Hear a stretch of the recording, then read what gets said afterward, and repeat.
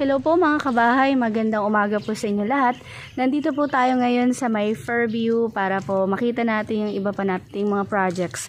Marami kasi nagre-request sa amin o sa akin na um, pumunta or mag mag ano po magbigay ng mga listing po dito sa may Fairview. So dito po tayo sa may West Fairview para um, nag-iikot ng mga projects. Marami tayong pre-selling dito, saka yung mga uh, konti na lang yung ready for occupancy po, no? So ito po dito sa part na to, this is 4.5 80 million. Isa na lang po ang available natin, itong nasa dulo. So ito po, um, this is still under construction pero sold out na yan. From this side as well, sold out na yan. So isa na lang po ang available natin which is itong nasa dulo nga. Yan. So titingnan po natin ito. Uh, maganda rin yung nasa dulo no. So at least may meron kang privacy. So itong kaliwa natin, meron na pong nakatira dyan at, and almost same lang naman sila. Right? So, ang lot po natin is uh, 52. Ang floor po natin is um, 87. Hi, sir. TCI po. Mag-ano lang. So, ito, um, papasukin na natin siya para may idea tayo kung ano yung uh, layout niya. So, almost yung de developer naman natin, same lang yung mga layout and um, sizes and every interior, same lang naman po sila. So, ito yung parking space mo. Ay, hello po. Sir, mag-video lang sa TCI lang po. Ano lang, okay lang sir, no? Okay na naman, okay na naman yan sir. Normal lang naman yan. Kami nga rin eh, kapag nag-iikot, nandyan lang sa ano, sa labas din. Ang bango ng pagkain, nagugutom na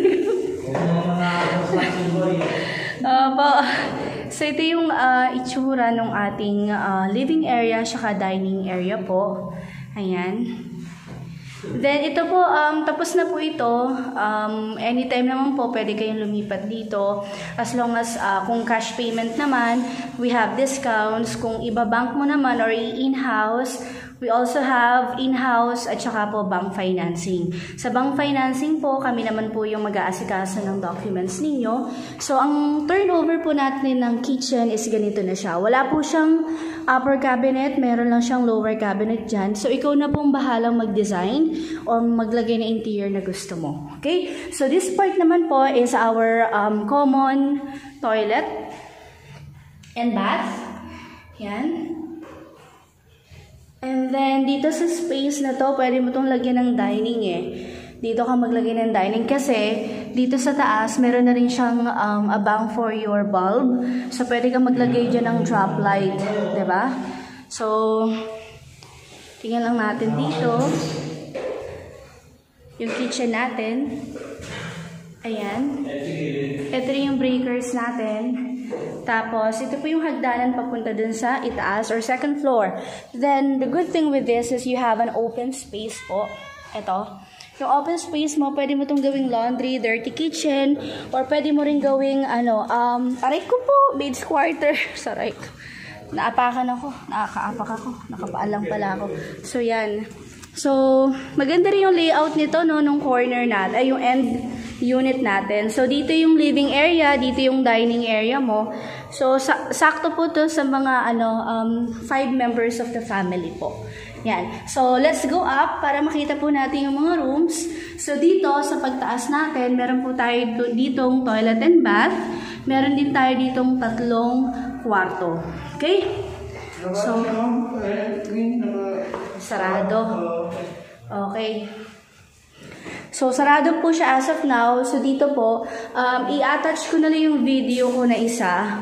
Kasi makikita rin yung same lang naman yung layout and sizes po ng mga rooms. So, you have common toilet and bath po dito. Sir, wala kang susi nito? Sige. So, yan, hindi natin uh, makita yung loob. Pero, um, ang sizes nito dito, pwede itong mga single bed. Tapos, may double bed din po dun sa master bedroom. Ayan po. So, ito po mga kabahay, tayo ibababa na. And, um, Ano nga palang presyo ulit to? This is 4.5, 80 million pesos. Isa na po sa pinakamura rin na hawak ko dito sa West Fairview.